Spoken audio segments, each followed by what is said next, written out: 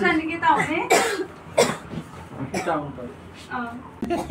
यता जाने के त हुने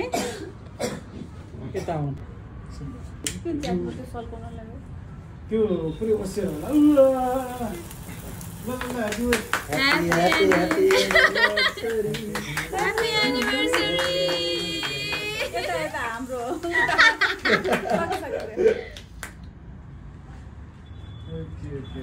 ल। केक त दुईजना काट्नु पर्यो नि।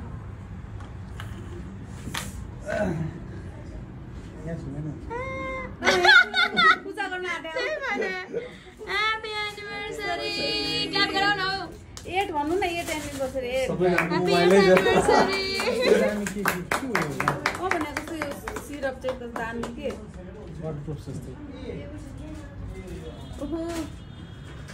यसमा के हातैमा हुन्छ हातैमा?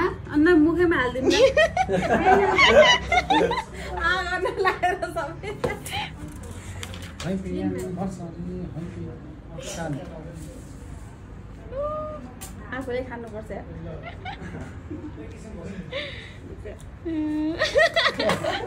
थ्याङ्क यू सबैजनालाई। Thank you thank you so much.